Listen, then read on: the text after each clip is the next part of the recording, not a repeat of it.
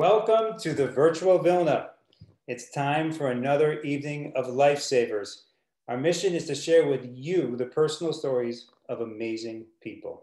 I am Jason Weiner, and my wife Nicole Zatlyn and I are proud to sponsor the Lifesavers Speakers Series. Before we start, just a few words about the Vilna. The Vilna was built by immigrants from Lithuania in 1919. I mentioned this year not just because we are proud of our restored 101 year old building, but because the Vilna was built during another pandemic, the Spanish flu, an interesting historical parallel. While the building was originally a place of worship, today we are a cultural center, a hub of activity to engage people in Jewish culture, spirituality, learning, food, music, movies, language, and much more, located in the heart of Beacon Hill. Also, I want to send a big welcome to the Vilna's new executive director, Dalit Bellin Horn. Tonight, we are going to listen and learn from two incredible doctors who have been fighting the pandemic at Boston's Mass General Hospital. Here's how tonight will work. I will facilitate a conversation with Dr. Mark Poznansky and Dr. Paul Currier. We will leave time for audience Q&A. If you have a question, please type it into the Q&A box. The, the full bios for each speaker will be pasted into the chat. Briefly, um, Dr. Mark Poznansky is a scientist and a practicing physician at MGH. Dr. Paul Currier is an intensive care and pulmonary physician and also at MGH. You will learn a lot about these two amazing doctors tonight. Okay, welcome to Lifesavers, doctors. Can we bring up, can we bring up Mark and Paul now? Great. Hopefully the three of us are on camera. Good evening, Mark. Good evening. Paul. Hi, Jason. Let's start with Mark. Mark, you run the Vaccine and Immunization Center at MGH, also called the VIC. You're a practicing physician and a scientist who has furthered the understanding of the immune system, cancer, rare infectious diseases, and immune disorders. Tell us how your training and research prepared you for the onslaught of COVID 19. Well, actually, the, the, the, the, preparation started in a funny way at the age of eight when I realized that uh, diseases were infectious. And I realized that whenever my, my older brother and my younger brother came back with anything from school, I would get whatever they had pretty quickly thereafter. It was only years later that I realized that Hippocrates had spotted that 3,000 years ago as well. But the, the story went um, that, that when they came home with chicken pox, I was eight, my older brother was 11, my young brother was seven, and they had spots. I instantly locked them in their room. So I let them go into their room to do their homework and I locked the door behind them and left them in there. And a few hours later, when my parents came home from work, and this is in a different time and a different place, uh, London in the 1970s, they were like, where, where are your brothers? And I said, I put them in quarantine. Every time they come home with spots, I get spots. I don't want spots this time. I don't want to get it they said, well, you can't lock your brothers up for the next two weeks or 40 days in that room without looking after them. Well, flash forward, like a lot of stories, you know, we, we approach the things we fear most often in, in our work. And I end up as an infectious diseases physician practicing eh, for the first time after medical school in Edinburgh when all 2,000 IV drug users seroconverted to HIV, in other words, became HIV infected. This is about 1984 uh, with HIV, basically. And as a junior doctor, hundreds of patients were coming into the hospital, which was the main hospital in Edinburgh, which is in Scotland, with a new condition that we just had no idea. We'd been through medical school and we were literally every level of doctor and every nurse knew, had no idea what was happening to these patients. And we were doing our best with very little uh, uh, directed therapy. We just sort of were trying to patch together treatment. And then that was very much a, a sort of baptism by fire for dealing with a new pandemic at the very beginning when the on the in, you know incoming patients were completely incomprehensible in terms of what they were suffering from mm-hmm. and i think that there were many uh, echoes in the experience when i first went onto the icus to be of, of help to the brilliant icu doctors like paul that we didn't know exactly in that first wave what precisely was happening and we were doing our best to save as many lives as we possibly could and get people back to their normal lives thereafter. And it, it, it, it's both times it was equally shocking i can tell you. There was it, it didn't it didn't get any less shocking but it did prepare me for the sort of mindset that's needed to deal with a pandemic where the disease in the initial phase is completely unknown. Mm. In the early days, uh, Mark, how, how did you split your time between research that was supporting the effort to develop a vaccine and other diagnostics and actually in the ICU treating patients? So during that time, I was called on to do more clinical work, or there's more clinical work to be done. And so I would have said that I was on pretty much two weeks each month for those first few months, on two weeks and then off two weeks. Um, and uh, as I said, helping in the ICUs to guide the directors of the ICUs, like Paul, to manage the infectious disease that was now rampant amongst patients who were there. And I'm talking about advice because Paul was absolutely on the front line. The nurses in the ICU were absolutely on the front line. Infectious diseases doctors are sort of consultants and advisors in that context. Mm, okay. Yeah, that's that's I, we, we were gonna let's get let's use that as a, as an opportunity to bring Paul into the conversation.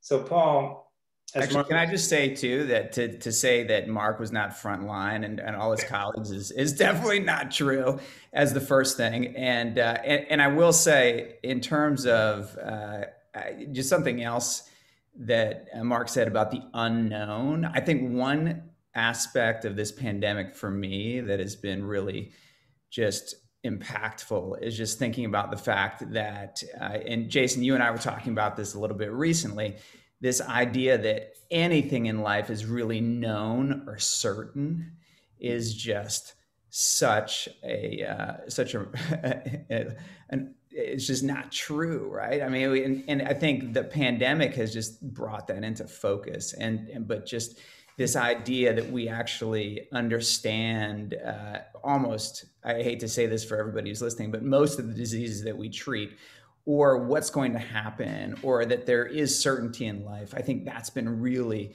just revealed to be untrue. And, and i think the pandemic has that brought that into focus in good ways and bad ways and that um, that's a, a reality that we don't often pay attention to and i think it can really just heighten purpose and meaning in life in the context of everything that we're doing. And uh, so I, I, think it's it's really interesting. I think Mark that you made that comment about uncertainty.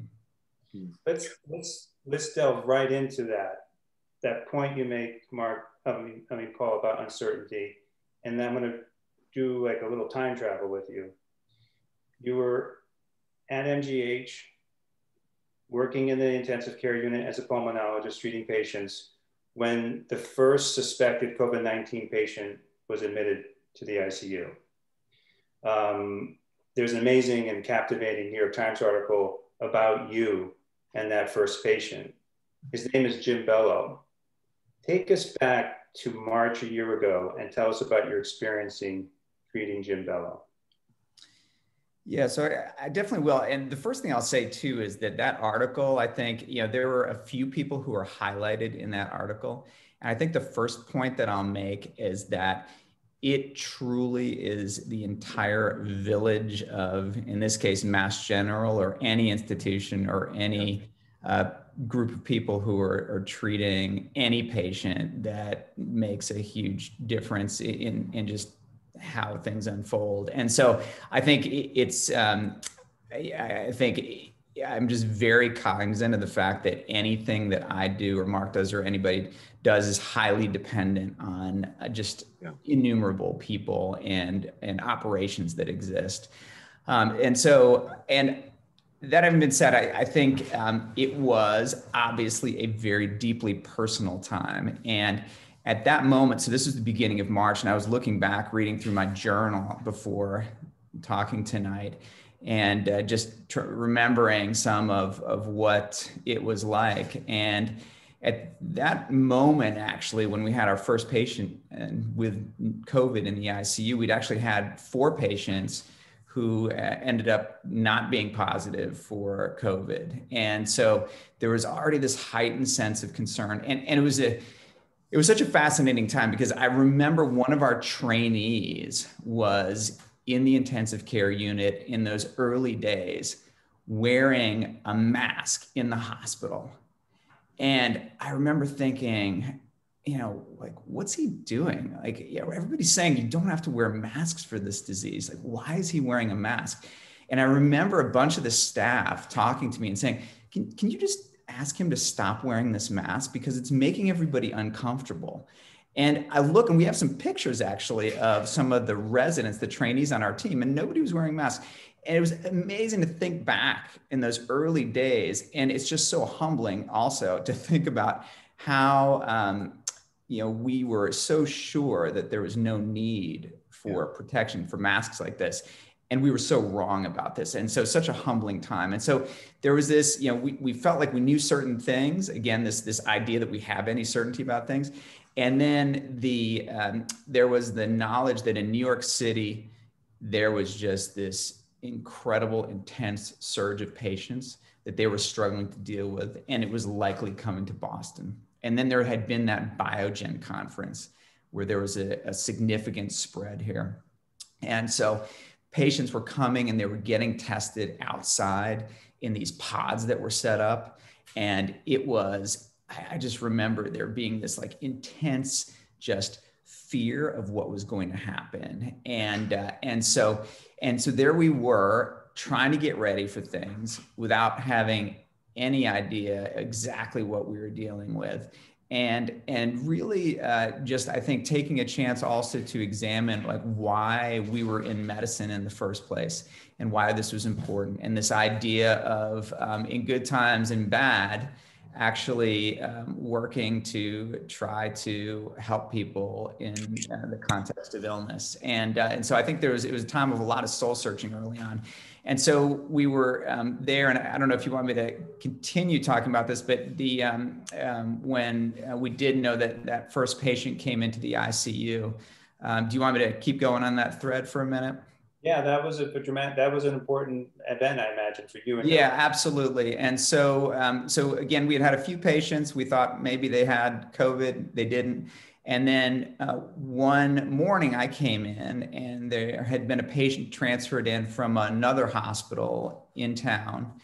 And at that point, it sounded like this was really actually a, a patient who did have COVID, and he was very, very sick. And so at this point, we said, well, you know, this is this is probably it, um, but we still didn't know. And as that was happening, though, it was really interesting too, just to see again the heightened awareness and the just attention to detail. And I remember vividly going to, this patient's room initially and seeing uh, i was there with one of our resident trainees so this would be somebody who had just two years ago had just finished medical school and never anticipated that he was going to be dealing with a pandemic like this. And I remember as we were getting ready to go into this patient's rooms, there, there was a set of double doors to try to prevent any aerosolization of, of, of COVID coming out of the room. So there were two sets of doors. So you'd go through the first set of doors, and there you would do what's called uh, donning or putting on the PPE, the protective equipment. And so you would go and you'd put on um, all the, the material that you'd need. And so you'd put on the gown and the gloves and the mask and eye protection. And I remember seeing the hands of this resident shaking as he was getting ready to put on these gloves because you were getting ready then as the next set of double doors opened to step into this environment where we had no idea just how contagious this virus could be. And it was almost, I would, I would liken it to stepping out into outer space in a spacesuit. And this concept that you would hope that the spacesuit was really tight because if it wasn't, maybe you were gonna die. And and it was that, and you could see that, you could uh, you could sense that, and at the same time, seeing in the case of this resident overcoming this fear. And you know and i had fear myself certainly too. I just have dealt with this more over the years not like this exactly but similar to it. And and you could see him overcoming this. And it was it's incredible to see you know for somebody like him the kind of courage. And i think it was very inspiring to see that among uh, just all of the staff that was taking care of, of um, this patient and then subsequent patients just the courage they displayed. And I think that gave me personally a lot of strength. And also seeing, boy, you know, if this trainee can do it, I can certainly do it. And I need to set an example for him. And it all kind of, you know, I think we sort of found strength in each other. Mm. And what, just describe how grave the situation was with that first patient who was put on a respirator and later the ECMO machine. Yeah. So and, and so for for this patient specifically, um, originally when he came in, he actually started getting better, and we actually felt like things were going really well. And then um, very soon thereafter, things took a real turn for the worse, and we then were very very worried about him, and uh, and so things were getting worse. And then we um, did something that is very common in taking care of patients with COVID in the ICU, which is actually um, flipping him, oops, sorry, there on, uh, on his stomach, um, which can sometimes help to improve the oxygen that gets into the body. And so we did that. I remember that vividly one night at 2 a.m. And this is something it's a practice that we uh, we actually don't do very often but now that we've done in in covid hundreds and hundreds of times because it's it's uh, something that really does seem to be helpful. So this proning of, of patients where we flip them onto their stomach. And i remember at 2 a.m we were uh, there and i'm just so thankful that um, i think tom one of our nurses who's so experienced was on and and I was thinking like, how are we going to do this? Because it's a complicated, you know, it's a very simple thing in a way. All you do is you flip somebody onto their stomach, but it's a lot more complicated when there's actually a breathing tube in the mouth that you need to make sure doesn't get pulled out in the midst of flipping somebody. And there are all these IVs that are in patients' arms that you need to make sure don't come out. And so a whole bunch of people were standing around this patient, getting ready to flip this person. And you know, it, it just, it was a, a, very dramatic event. And I just remember Tom saying like, oh, don't worry about it. We've got this, no problem. And, and just feeling that again, that village who was there with us, helping to uh, do all this work was just, it, you just can't describe it. And, and I think, you know, thinking about the, the people, yeah, I mean, certainly the physicians play a, a significant role in this, and uh, you know, but man, the nurses, the respiratory therapists, the people in there that who are at the bedside all the time, and you know, risking just so much more exposure than we did. They they are really the heroes of all of this, and uh, and so so a group of nurses and respiratory therapists went and flipped this patient, and at that point, things started looking up again we thought things were really going in the right direction. And I remember going to sleep right after that that night around 2:30 in the morning, lying down for a couple of hours and saying, "Ah, you know what? Things are really looking up. We got this." And then I woke up the next morning and things were looking worse again. And then at that point, uh, then once um, flipping somebody over or proning somebody is done, uh, there's really only one step after that that we have. We have a few other tricks, but really the next step after that is is using this technology that you were talking about called ECMO, and it's a, it's a technology that basically takes blood outside the body and runs it through a machine that provides oxygen and then puts it back into the body.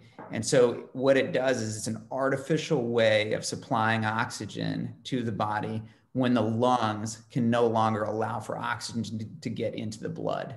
and it's really it's it's a very specialized very difficult to run technology. And it's something that's only available at very few institutions.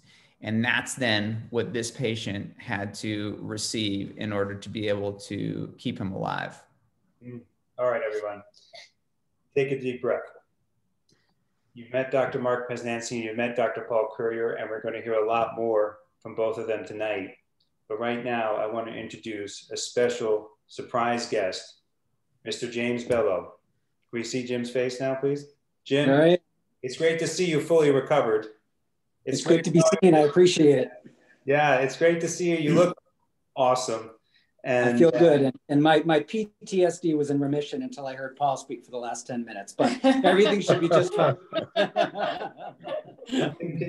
we've heard the story, we've heard the first half of the story. Can you tell us your thoughts about being that patient and recovering and being with us tonight? Uh, yeah, there's a lot of thoughts. Uh, you know, you reflect, I guess, you know, when you hear a story like Paul just told. Listen, I'm, it's a miracle, you know. Um, I'm blessed to be here. Um, I'm going to get emotional. I didn't think I was. But yeah. it's okay. We're getting emotional. To be, you know, due to Paul, you know, it's, it's, it's incredible to hear Paul speak. Um, okay. you know, truly how humble he is um, and how how generous he is, and you know, just the tremendous empathy that he shows for uh, for everyone. And you know, listen, I mean, I don't, you know, I don't have a ton of memories, as I told you, Jason, when we chatted about this, about you know what happened when I was at MGH. Um, but you know, what I take away from it is, you know, how Paul and everybody at MGH treated my family, and uh, it was truly remarkable. I got my wife Kim, like my kids who are here and there. Um, and uh, you know, again, uh, you know, my memories are few and far between. But what I know, you know, having spoken with Kim and spoken with everybody, is just that tremendous sense of uh, compassion and empathy that Paul and as he said, all of the doctors, all of the nurses, the CNAs, the respiratory therapists, the village that Paul spoke about, how good they were to uh, to my family when they needed it. Yeah. So I'm happy to be here. It's a long-winded way of saying I'm happy to be here. I can imagine. Yeah. And it, you know, the article, which I, I know Lynn pasted the link, is such a beautiful article written by a Pulitzer Prize winning writer for the New York Times, Pam Belluck, just talks about the incredible teamwork, as Paul mentioned, the incredible support from your family. And uh, the, it just, it's an amazing story. And I guess a very, a very human one, how so many people were pulling for you and they're just so happy today that that you've recovered. I mean, it's really a, a very human and uh, inspiring story for sure. Thank you, and thank you for sharing that with us. Pleasure. We're going to come back to Jim at the end, where I have two more very important questions for Jen. and now we're going to transition to highlight some of the themes that we've talked about to learn something from from Mark and Paul. Um, let me go. Let me go back to Mark for a second, and delve right to the heart of the matter, which I want you to talk about, and then we'll hear from Paul about the same, which is when you were walking around the ICU, even though you were prepared to be a doctor when you were eight years old, why, what, what was the role of your fear?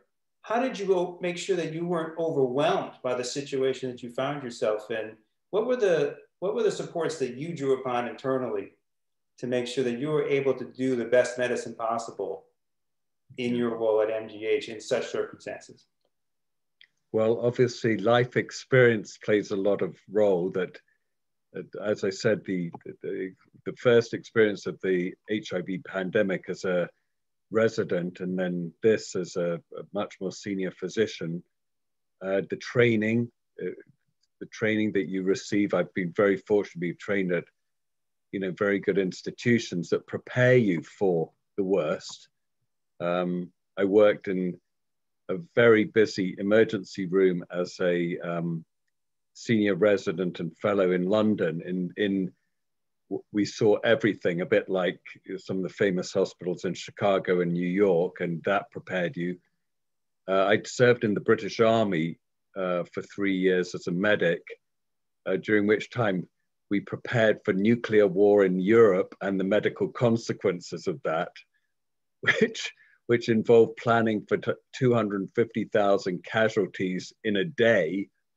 Uh, and so I think training is very important to calm the mind. You feel like you will, you're prepared, you're mentally prepared and trained. And secondly, what Paul alluded to or spoke directly about is that the team, if the team has been well put together beforehand, they will work together in the situation of great stress and strengthen each other as a result of it. And, and you know, the infectious disease team, the many doctors, I was just one of them involved in ICU care, pulled together. We covered each other when we were uh, needed. Uh, uh, we had other issues we had to do uh, besides being in the hospital and so forth. And then I think the most important thing, which I think is a big under, uh, what's the word, a sort of understated thing, is the, the families. We've heard about the families of the patients, which who are incredibly important, but the families of the carers, of the nurses, the physiotherapists, the, the, the doctors who were behind those people fearlessly, I would say, made it possible for us to do what we did. And I think that, that there are a lot of unsung heroes in, ho- in, in the care, healthcare workers' homes and the frontline workers of all types, whether they're mail delivery or working in hospitals or, or whatever, that are really unsung heroes that allowed those people to go out. Because when I told my wife and children that I was going into the hospital with those risks, they they didn't say, you know, no, no, you can't do that. That that's that's a big risk because you could come home and we'll all get infected. They that was the courage behind all of this that allowed us to practice the way that we did. Yeah, I can. Yeah, that's a very. I agree, agree with your point immensely. I know. I'd like to hear Paul's thoughts about the same too. Yeah, no, I, I, see. You can see uh, probably my wife Maya sitting in the background. I, I couldn't agree more. Uh, she is a huge unsung hero of all of this, and I, I you know, so um, when all this started, I was, uh, I was took some notes again too from my journal initially, and uh, the uh, originally it said uh, having just come off service, meaning working in the ICU, I'm quarantining in the basement.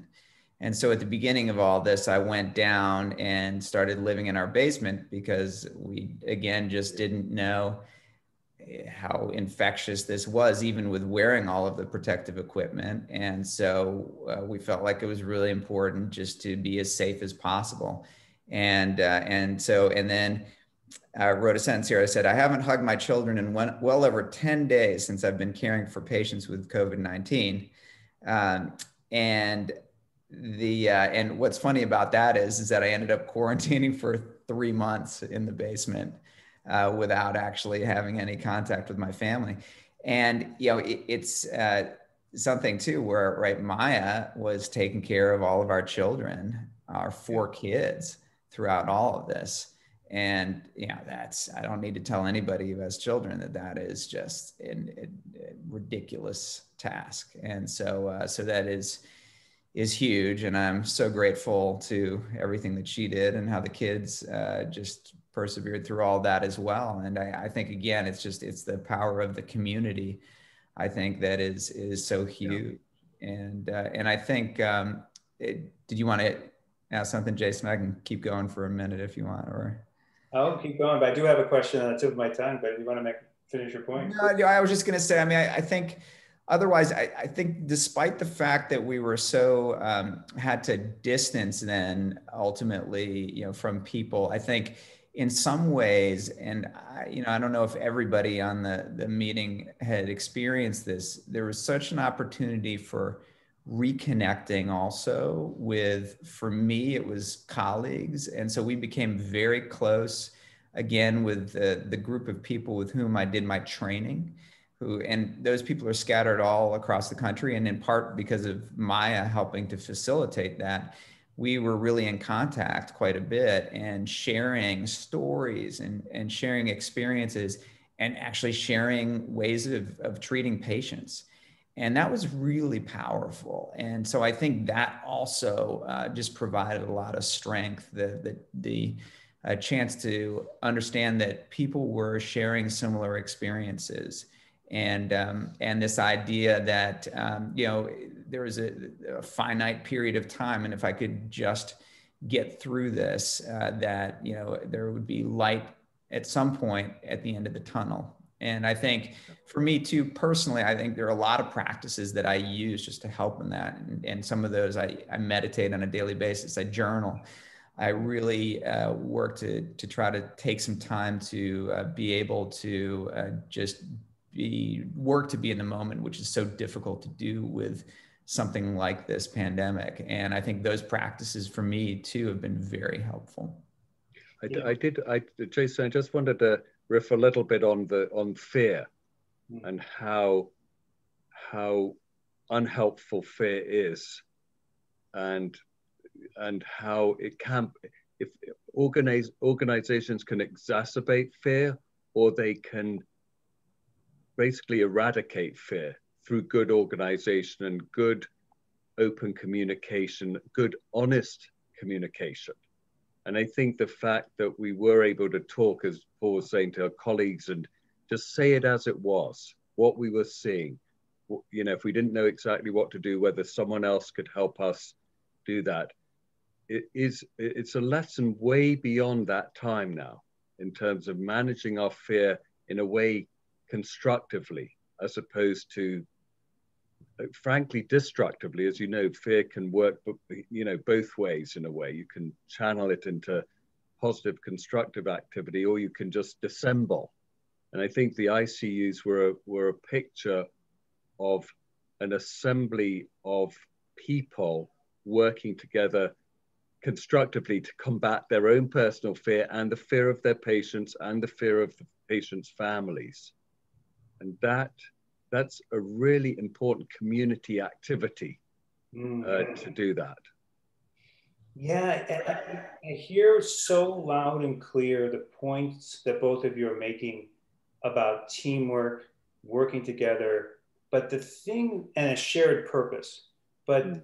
I want to go to a slightly different level about both of you and tell you something that I've thought about as I've got to know both of you. Paul, I've known for a while. Mark, if you're a new friend, um, this concept that you are people with a purpose. And it's something that I was talking to Paul about yesterday. He's he's a fan of Viktor Frankl, the the philosopher who survived the Holocaust, and one of one of many of his lessons was if you if you have a purpose in life and a view of how your purpose in life is going to drive you into the future, you really have you know a lot of strength. That's your source of strength. And I view both of you, knowing your life stories now better, today than I did a week ago. I view you two as people that have had a purpose that not just trained you to deal with fear and the medical challenges, but your entire life was aligned to deal with this last year, which I think is a lesson from all of us. Yeah, and I, I and I think I, I think I've mentioned to, to you this before, but there is it's a very strange purpose in medicine in a way, and uh, I, I, was always reminded of this when I don't know, Paul, whether you experienced this, but in, in British medical school, you started at the age of between 17 and a half and 18. You went straight to medical school from high school. And you went from, from high school straight to the anatomy dissecting room. Uh, so, having never been exposed to death or cutting people up or anything, you just went from like high school practicals dissecting flowers to like uh, the, the anatomy theater. And I remember after the first day, now there were 150 people in my medical school year. We came out of the anatomy theater and there were about four or five people on this on this big Victorian staircase going down from it in tears going, I can't do this. I cannot, you know, weeping these were 17 and a half and 18 year olds. I can't, I can't do this. And they, the, the following day, there were 145 members of the class, not 150.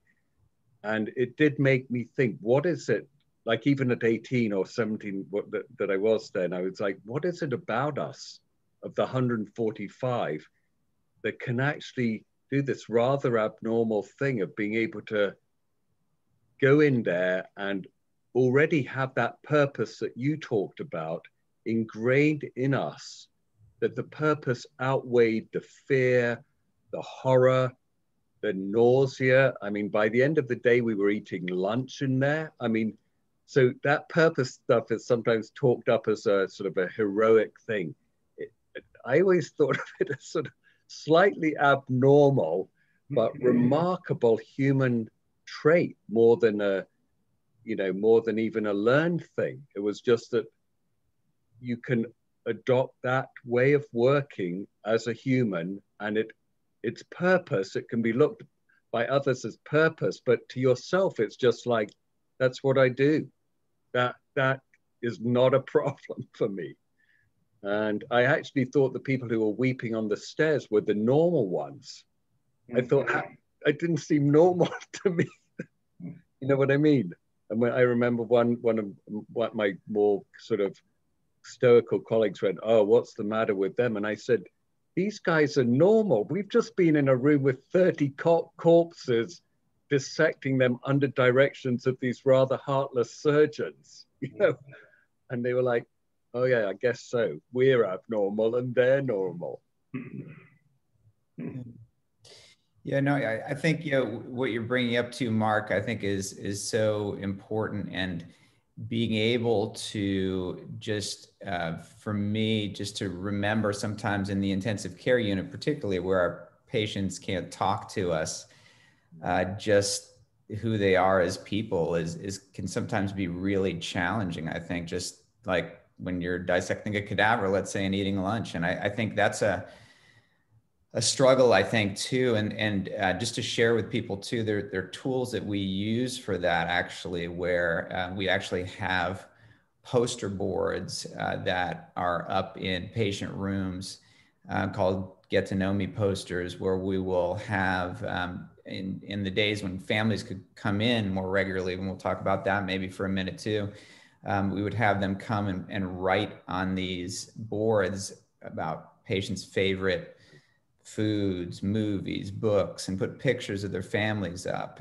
And it is such a simple thing that's so powerful because it, it's difficult sometimes to remember when you're just looking at a breathing machine and a, a dialysis machine and all these tubes and machines what is really going on underneath all that and uh, and there's also bedside diaries that exist where staff will write in them to uh, record for patients uh, what's happened over their time in the intensive care unit because it is so difficult uh, for you know as, as jim had said don't have a lot of memories. And so i think being able to remember that can be really challenging and uh, i think is is just it's it's an ongoing challenge uh, for for all of us i think who work in that kind of an environment.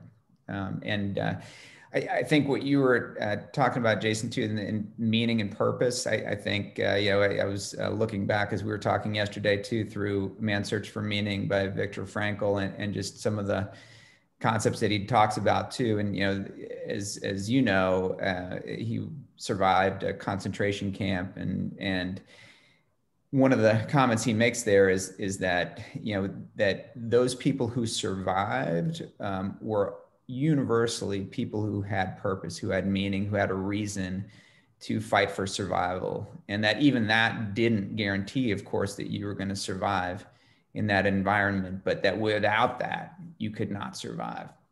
And I think that, you know, having that purpose, and, and I think it can be on many different levels in terms of, let's say, in medicine, the, just the practice of medicine, but also, of course, for, you know, one's family and, you know, uh, thinking personally for me, my wife, my children, you know, those those kinds of uh, of things that have meaning in our lives, I think that allow us to be able to go through these difficult times and to try to come out the other end. So I, I think it, it's hugely impactful, and I think is is I'm glad that you brought that up.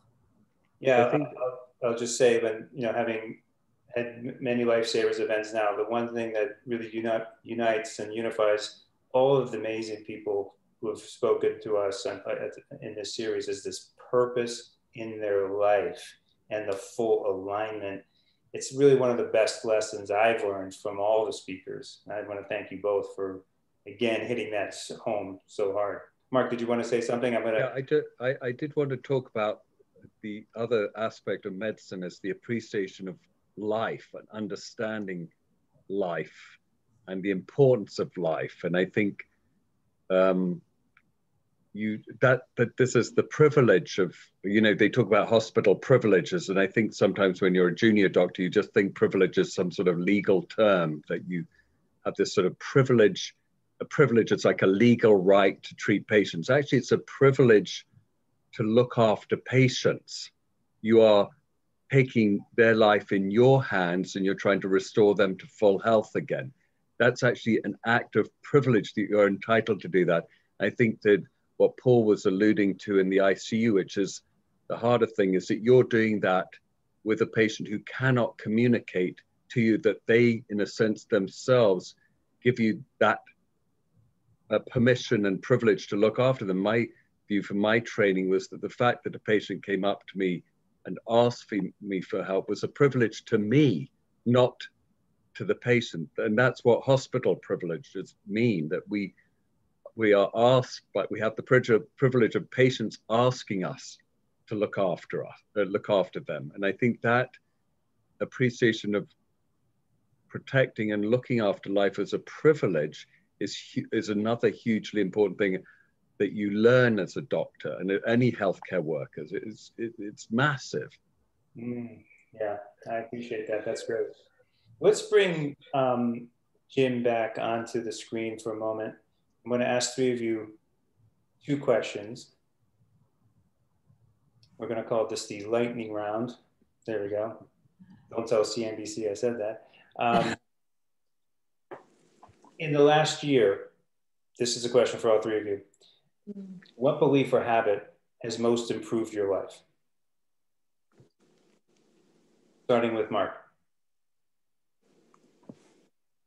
Yeah. Well, uh, it, it's that fundamental, you know, belief always that, that, that to save, you know, to save one life, you save the world. I mean, this is a, a, a very important thing that every life to be saved is incredibly important, and and that that every day in, in the hospital was, you know, the the in a way the battle that we were engaged in to be able to achieve that good goal, which is save every life intact that we possibly could. Yeah. Paul?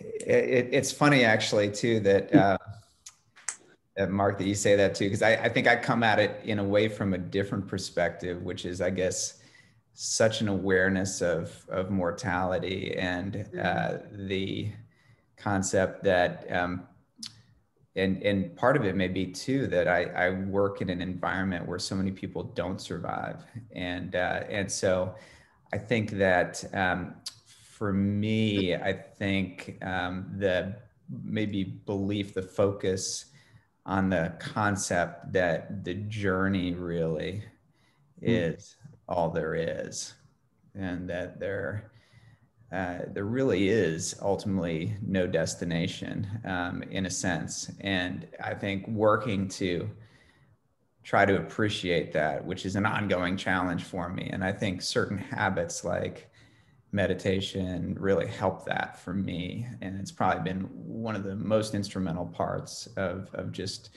working to do that. But it, it's, um, I think that concept um, that it's the journey. And, and I think then, also i think um, and and maybe we can talk maybe even if uh, kim's around too but um, the i think the importance of just human connection.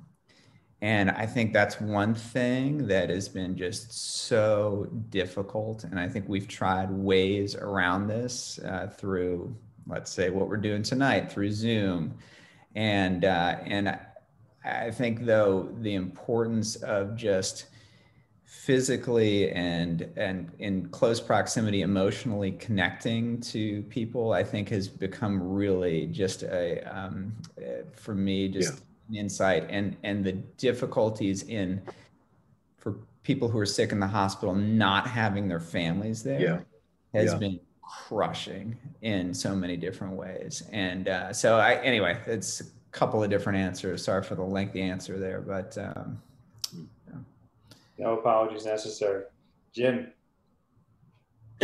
yeah, so I think you know, much like Paul, I think I kind of have two answers to that question. You know, obviously my experience over the last year has been a little bit different. Um, I mean, I think for me, it's a combination of um, you know things can always be worse, um, and I think uh, also that you know you really you know you can't change the past, but you can control the future.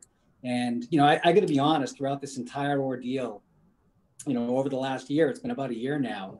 Um, you know, I, I can't honestly, I don't, I can't remember a single time, even as early as being at Spaulding, where I said to myself, you know, why me? Why did I get that sick?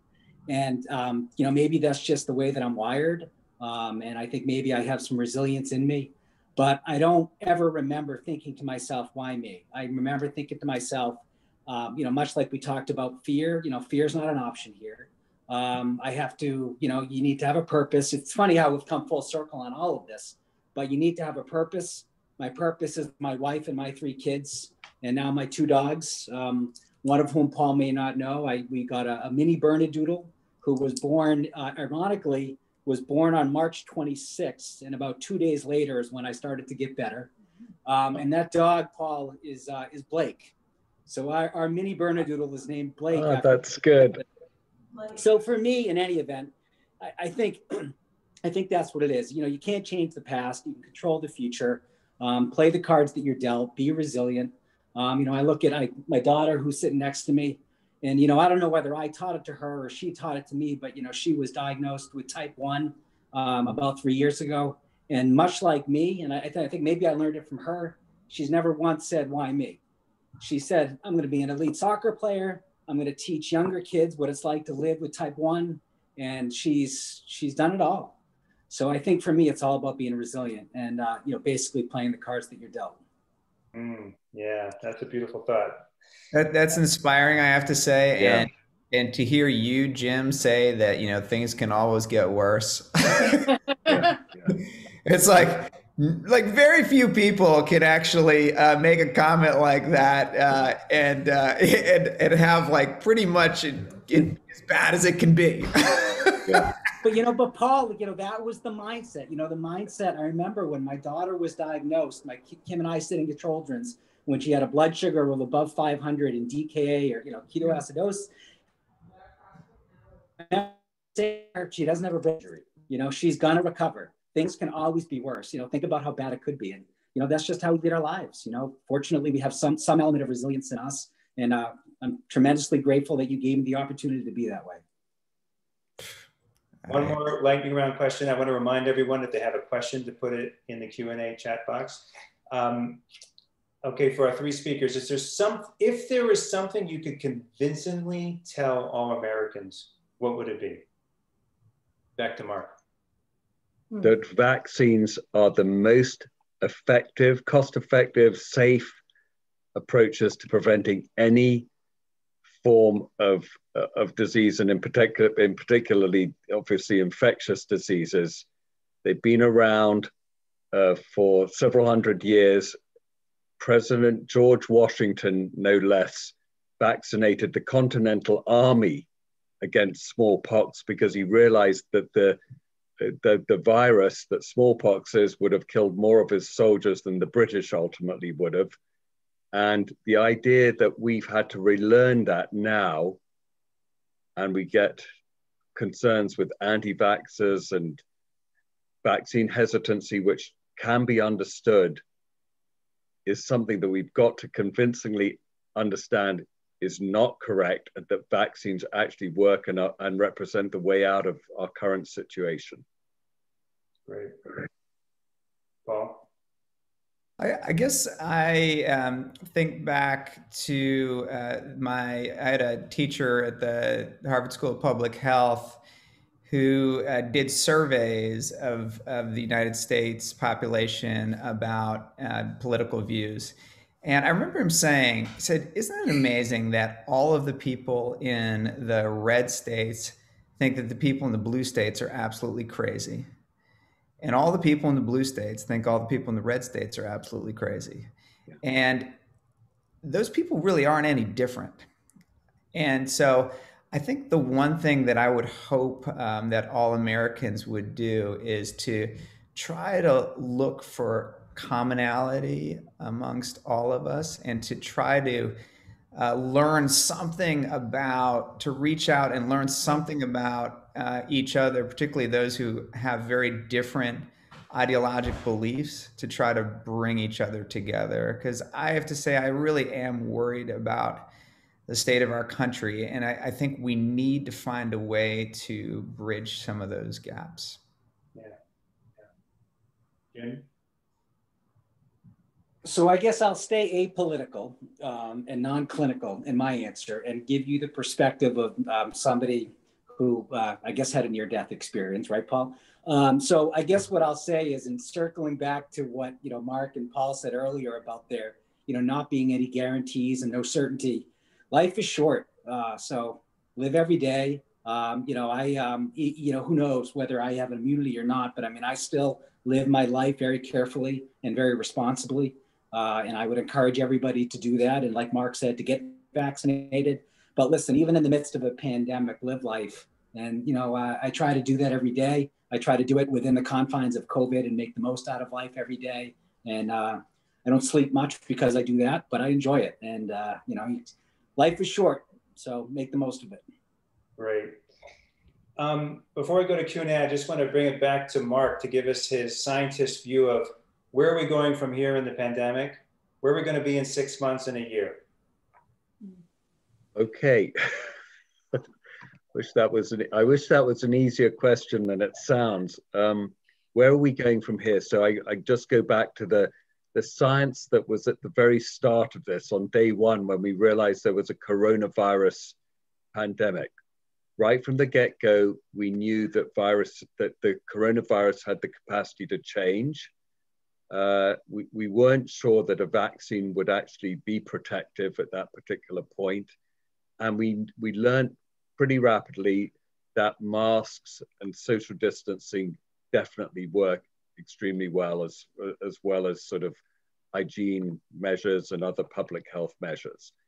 So as much as where we are six months on, the one thing we've, at, or a year on, and now going forward, we now know that vaccines can be protective and growing data from Israel, which in this sphere is, a, you know, a light to the nations, is informing us that it's actually very effective uh, in these very large, you know, they've vaccinated 50% of their population. So we know now we're, now we're standing in beginning of March 2021, looking forward, we know we should remember all the things we learned, the masks, the social isolation, now the vaccines, and now we, we carry all of those forward for the next six months to a year as you know the data and the science informs us. There may be times when we can come back from the social isolation and and even areas where we don't need to wear masks outside and stuff like that.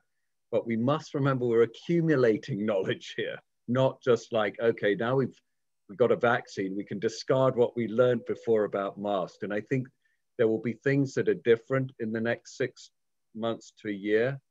Um, and there will be th things that are actually the same because the virus is also changing with us. Uh, it's probing our weaknesses as it did right from the beginning, and it will continue to do that until we are able to get it back into the box that it came out of. And that's a no mean task, which will unlikely to be achieved in the next year, unfortunately. It will certainly be reduced in its impact, but not reduced to something that we can ignore and go back to the old normal. We will be in a new normal, but not the old normal. This, this is a question right from the Q&A uh, chat that I'm receiving that speaks to this. Is there anything you're seeing in the variants that makes you worried about the J&J, the Moderna, and the Pfizer vaccines? Yes, of course. And th this is all science written several years ago about coronaviruses that they they not only probe and evade your own immune system, they probe and evade the vaccine induced immune system as well. And so Uh, that is that's challenging. That means we have to update vaccines every year or maybe even you know every two years to respond to the way that nature is changing uh, uh, and the nature of the coronavirus is changing over time. It is concerning, yes. But we have tools now in our armamentarium that we didn't have before to go up against that. Okay. There's a question um, I'll, I'll, ask all of you, and this was um, it's a heartfelt question for Jim as well, which is um, what about what tell us about long haulers and there's a part, part of the question is is Jim a long hauler? Are you fully recovered? Uh, I'm damn lucky. Uh, I, I am not. I uh, I have nothing. I it's uh, it's truly a miracle. I have no long haul symptoms. Um, I um, I run four miles. I skin up mountains and hike up mountains. I've had you know chest X-rays and pulmonary function tests that are all normal. So for some reason, and who knows why, I uh, somehow managed to escape this thing with really no long haul symptoms whatsoever. Right. Awesome. I, I, would uh, I would just add that when you know in previous pandemics we have learned like in the hiv pandemic we learned as we were going on what the disease consisted of obviously we're only a year into a year or a little bit more than that into a, a new disease in humans and there's no doubt i mean paul our colleagues you know Leo Ginns uh, and so forth in the pulmonology department are caring for patients who have a long COVID type syndrome. So I think the biggest and most important thing that we can do as doctors and healthcare workers is recognize a new condition emerging and be responsive to our patients in a empathic manner because we're learning about long COVID as fast as they are learning about long COVID in that regard. I, am interested in knowing what you think, Paul, because you're also aware of these sort of aspects. Yeah, I, I think, you know, you're right. It, it definitely exists as a syndrome. And I've certainly seen patients as well who have really persistent symptoms of all different kinds, either respiratory or, or sometimes even neuropsychiatric symptoms um, where they don't think properly. Um, and the uh, and I think we are all learning about this, and I think um, one of the learning points for me is always just being humble in terms of our understanding of of any process like this. I think there's a tendency sometimes for all of us to, uh, when we hear about certain symptoms that don't fit neatly into a, uh, a box that we understand medically, to sometimes write those off as just being like uh, it's just you know in somebody's head. And i think that may be true or it may not be and either way it's no less real. And i think um, for us to all really just work to try to understand that and why those ha- uh, symptoms happen i think is really important and, and yes so there is a post-covid clinic at mass general and if anybody is experiencing you know people who are experiencing symptoms like that then it's a great place to try to get help. And there are treatments that are seeming to help some of those symptoms. Okay, we're gonna, there's a final question before I thank our speakers. I wanna, eh, Uh, this is an important question for a lot of people. Should pregnant women be vaccinated and when will children be able to be vaccinated? So pregnant women should definitely be vaccinated. There's no, you know, there are no CDC guide, guidelines that say that pregnant women can't be vaccinated. But what what happens there is what's called a sort of joint decision making between the obstetrics team and the parents to be, to be that it's it's it it should be discussed so that everyone is comfortable with the decision around vaccination. So they've been again. Israel's a great example. Large number of people vaccinated, including a, a, good proportion of pregnant women. They have not seen any uh, safety signal in that context. And it's always worth bearing in mind. And Paul, you probably saw this. I, I, I don't know whether the ICU covers pregnant women who developed severe COVID, but there was certainly a number of severely ill pregnant women with COVID. And that is the issue here that if the if the vaccines prevent severe and moderately severe disease, then that could be very impactful in protecting the health of pregnant women. Great. Well, I, I have to do this at the end of every program and say, I'm sorry, we have to end because we could go on all night with speakers of the caliber of you people here tonight. Thank you so much to Mark, Paul, and Jim for your willingness to share your personal story, the story behind the story, which is what we always look for at Lifesavers. I think tonight everyone got just an incredible uh, lesson in life lessons, uh, respect for caregivers, uh, respect for scientists, and so many things that uh, we're going to take away from this evening. Courage. Thank you so much for being here tonight. We really appreciate it. Everyone have a great night. See you at the next life save at the next lifesavers. Thank you very much. Thank you.